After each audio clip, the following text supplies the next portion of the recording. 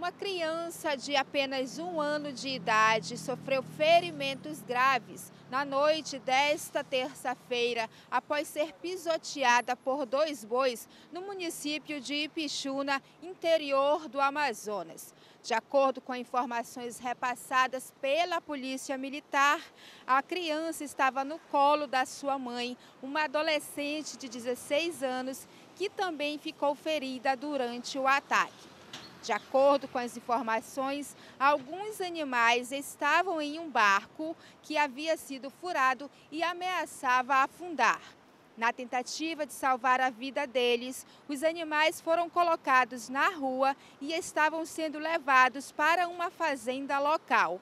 Quando quatro deles se soltaram do grupo e correram em direção a uma praça onde estava acontecendo um evento de final de ano foi quando dois bois correram em direção à jovem, que no momento em que a criança caiu e ficou ferida, ela estava com o filho no colo.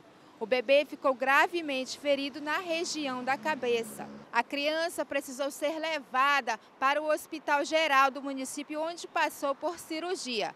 Não há informações sobre o estado de saúde tanto do bebê quanto da mãe, a adolescente de 16 anos.